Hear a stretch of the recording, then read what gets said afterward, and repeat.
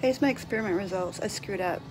Um, I used white to transfer her, and I don't even have that one anymore because then I went back and used the dark color, so it's backwards. She's in white and whatever. This is interesting though. This I